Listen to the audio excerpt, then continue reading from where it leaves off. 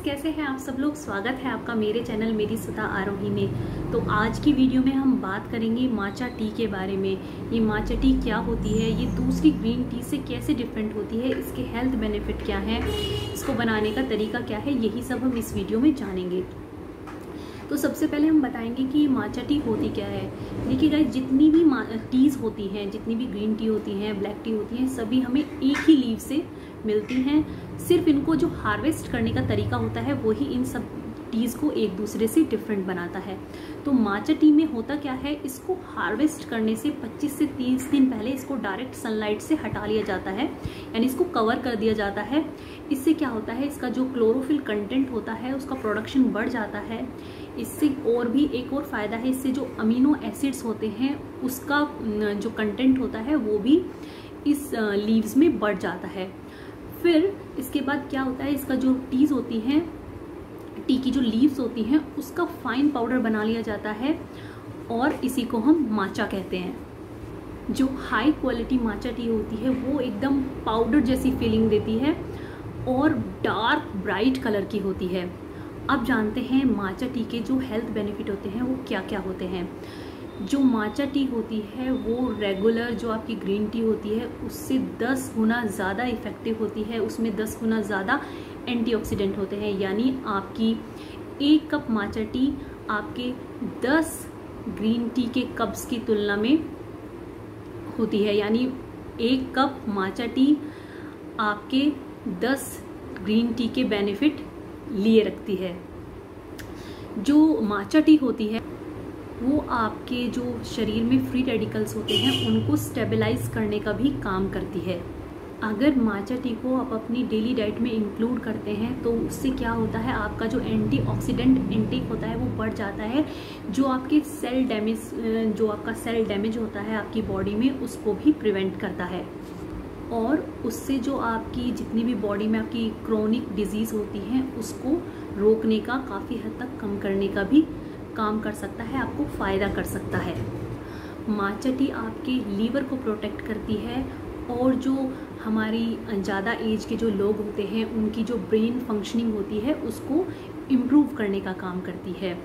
जो matcha tea का जो एक वेल नोन जो बेनिफिट है, वो ये है कि ये कैंसर प्रिवेंशन में आपकी हेल्प करती है। यानी कहीं ना कहीं ये आपकी जो कैंसर सेल होती हैं, उनको बनने से रोकती है।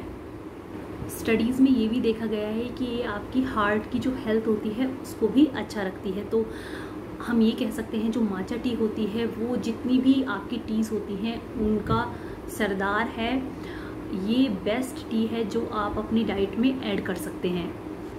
अब बात करते हैं कि माचा टी आपकी हेल्थ जो होता है, आपका जो वेट लॉस होता है, उसमें कैसे हेल्प कर सकती है? देखिए गाइज़ जो माचा टी का जो इनटेक होता है, वो आपके मेटाबॉलिज्म को स्ट्रॉन्ग बनाता है, जिससे आपकी फैट बर्निंग कैपेसिटी जो होती है, आपकी जो फैट बर्निंग जो आप एक्सरसाइज करते हैं, उसको बूस्टअप कर देती है, आपकी कैलोरी जल्दी से बर्न होती है। बट इसका मतलब ये नहीं है कि सिर्फ़ आप माचा टी पियेंगे तो आप पतले हो जाएँगे, ऐसा बिल्कुल नहीं है। ये टी सिर्फ़ आपकी हेल्प कर सकती है। अगर आप रेगुलर एक्सरसाइज करेंगे, अच्छी डाइट लेंगे और आप माचा को भी अपनी डाइट में इंक्लूड करेंगे तो आपको रिज़ल्ट जल्दी दिखाई देंगे। किसी भी टी का आप कोई टी लेते हैं या कोई भी जो पिल्स है, आप वो लेते हैं। अगर आपको कोई कहता है कि आप इससे सिर्फ़ पतले हो जाएँगे तो ऐसा नहीं है। आपको रेगुलर डाइट और एक्सरसाइज की ज़रूरत होती है। ये जो टी होती हैं, ये सिर्फ़ आपकी हेल्प कर सकती हैं किस हद तक आपको आपके जो आप एक्सरसाइज करते हो, उसको बेहतर रिज़ल्ट दे सकती हैं उसके साथ मिलके।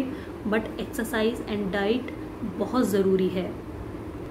और एक और आखिरी बात, आप माचा टी को as a pre workout drink भी यूज़ कर सकते हैं। जैसे कि कॉफ़ी होती है, अगर आप कॉफ़ी ड्रिंक करते हैं, अपने वर्कआउट से पहले तो क्या होता है कॉफ़ी एकदम इंस्टेंट एनर्जी देती है हमें। बट जो माचा टी होती है, वो धीरे धीरे से एनर्जी रिलीज़ करती है और आपको भूख नहीं लगने देती उस टाइम पर, जिस टाइम पर आप एक्सरसाइज कर रहे हो। तो माचा टी एक बेस्ट ऑप्शन है as a pre workout drink तो गाइज़ आप इसको ट्राई कर सकते हैं। अब चलिए इसको बनाने का तरीका देखते हैं। इसको बनाने का सही तरीका क्या है? तो गाइज़ अब मैं आपको बताती हूँ कि आपको एक कप माचा कैसे बनानी है, कितना लेना है। इसमें मैं ये यूज़ कर रही हूँ टी ट्रंक की माचा आप कोई भी ब्रांड ले सकते हैं। अमेज़ोन पे बहुत दुनिया भर के ब्रांड हैं। तो एक कप माचा बनाने के लिए हम वन ग्राम के आसपास अंदाजे से इतना लेंगे। इसको डालेंगे इसमें। और फिर हम इसमें थोड़ा सा पानी मिलाएँगे। और आप ध्यान रखिए, पानी का जो टेम्परेचर है वो 80 डिग्री से ज़्यादा ना हो, आप कम भी रख सकते हैं। और फिर इसको ऐसे हमें इसको डिज़ोल्व करना है, क्योंकि ये बहुत बारीक पाउडर होता है। तो अगर आप इसको ठंडे पानी में डालेंगे या इसको ऐसे विस्क नहीं करेंगे तो इसके थोड़े से लम्ब्स और थोड़े से दानेदार सी बनेगी, चाहे आपको अच्छी नहीं लगेगी। तो आप मेक श्योर करें, इसको अच्छे से चलाएँ। देखिए गाइज़ ये कुछ इस तरह की दिखेगी। इसके बाद हमें इसको इस कप में पोर कर देना है और इसको फिल कर देना है। अगर आपको ज़्यादा स्ट्रॉन्ग माचा नहीं चाहिए या आप पहली बार पी रहे हैं तो आप पानी की मात्रा थोड़ी ज़्यादा भी कर सकते हैं और चाय की मात्रा थोड़ी कम कर सकते हैं। वो अपने, आप, अपने स्वाद के अनुसार उसे एडजस्ट कर सकते हैं।